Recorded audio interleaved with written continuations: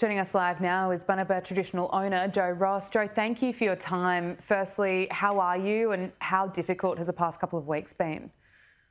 Uh, thank you, Gabrielle. Uh, it's been a uh, quite a shock to our community, and uh, normally we would get these floods. And I live in uh, along the river, with about where there's about 40 houses, and uh, our community they would normally uh, you know, stay in our in our houses, and some some people would come into town. But with this one, uh, the flood is, is another couple of meters higher, and it's gone through all our houses.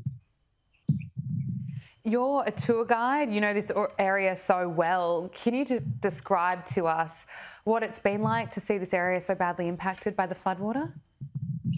Well, it's just unprecedented flooding, and uh, we're really appreciating the, uh, you know, what's been happening over east and places like Lithgow and currently in South Australia.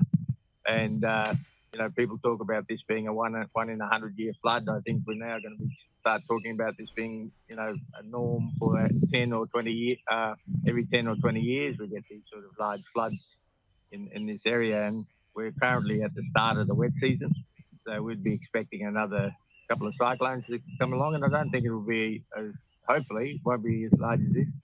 Um, my family of about 45 people are scattered between Fitzroy Crossing, Derby, and Perth. And uh, and Fitzroy Crossing's emotional state was really um, troubled at the start of it, in the start of the crisis. But thanks to the Minister Stephen Dawson and DFS, who's really shored up the leadership and the confusion. And yesterday we had the arrival of the army, which always uh, gives a very large moral moral boost to the community. You also spoke with Anthony Albanese. Um, what was that like? Can you share with us what you spoke about?